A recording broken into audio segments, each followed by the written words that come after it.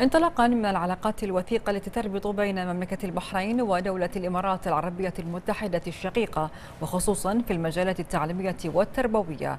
قام سعادة الدكتور ماجد بن علي النعيمي وزير التربية والتعليم بزيارة إلى مقر جائزة حمدان بن راشد المكتوم للأداء التعليمي المتميز حيث استمع إلى شرح مفصل من الدكتور خليفة السويدي عضو مجلس أمناء الجائزة حول هذه الجائزة التربوية الهامة والمجالات التي تشمل يشملها.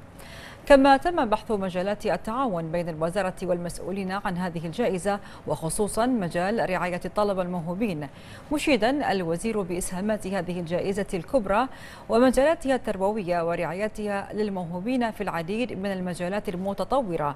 مؤكدا أن الوزارة تحرص سنويا على تشجيع الطلبة والمعلمين والإدارات المدرسية للمشاركة في هذه الجائزة المتميزة على الصعيدين التربوي والتعليمي.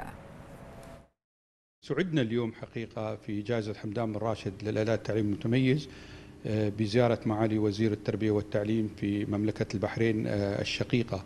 وهذا دليل على اهتمام معاليه بجودة التعليم لأن هدف الزيارة هو الاطلاع على معايير الجودة التي تتبناها آه، جائزة حمدان والأنشطة التي نقوم بها بلا شك أن مملكة البحرين فيها تجارب كبيرة جدا. نحن تعلمناها من خلال اللقاء مع معالي الوزير وفي نفس الوقت تبادلنا مع التجارب المتميزة التي تشرف عليها جائزة حمدان.